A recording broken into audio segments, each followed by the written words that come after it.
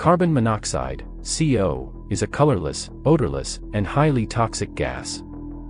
The incomplete combustion of carbon-based fuels, including gasoline, diesel, and natural gas, produces it.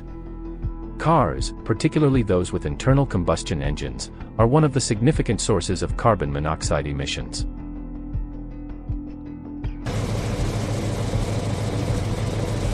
Modern cars are equipped with catalytic converters and other emission control devices that help reduce carbon monoxide emissions.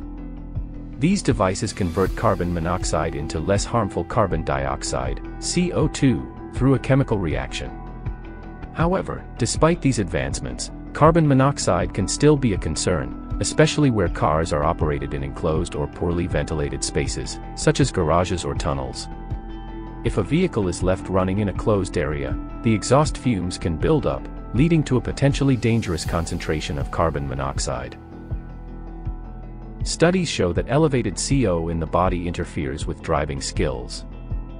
CO blocks oxygen from the brain, heart, and other vital organs when inhaled. People suffering from CO intoxication think more slowly and irrationally, are confused, and cannot safely operate a motor vehicle the condition is hazardous because they do not realize they are impaired. The lethal consequences of CO in engine exhaust is tragically illustrated by the hundreds of persons who die each year from carbon monoxide poisoning caused by a running vehicle inside a closed garage. Others die or become ill in homes with attached garages while stranded in their car or while driving or riding in a vehicle with a defective exhaust system. What causes carbon monoxide poisoning from vehicles? Operating a vehicle with a defective exhaust system. Driving a vehicle with holes in the car body. Allowing children to ride under a topper on a pickup truck. Warming up a vehicle in a garage, even with the outside garage door open. Operating vehicles in a garage, car wash, or any enclosed building. To minimize the risk of carbon monoxide poisoning, it's essential to ensure proper ventilation in enclosed spaces and never leave a car running in a closed garage or other confined areas. It's also crucial to have regular maintenance of the exhaust system and emission control devices in vehicles to ensure they are functioning properly. When stranded in a snowstorm, we are told to open a window on the downwind side of the car, to operate the engine for only a short time until the car warms, then shut it off. Caution should be used with the mentioned procedures. With the engine off snow may cover the exhaust pipe.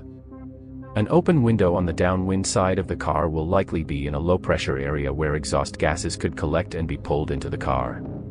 If you are stranded in the car with snow piling up, get out and ensure the tailpipe is not blocked before starting the engine again.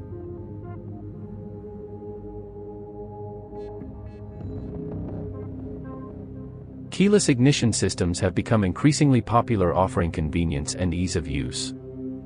However, they do introduce new safety considerations.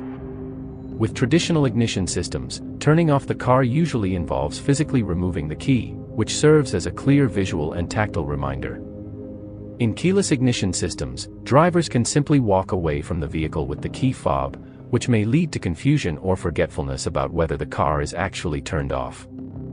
If a keyless ignition car is inadvertently left running in a closed space such as a garage, carbon monoxide can build up, posing a serious health hazard to anyone in the vicinity. Since 2006, nearly 30 people in the US have died of carbon monoxide poisoning by their keyless ignition vehicle. To address this issue, some car manufacturers have started to implement safety features in newer models to alert drivers when their vehicles are still running.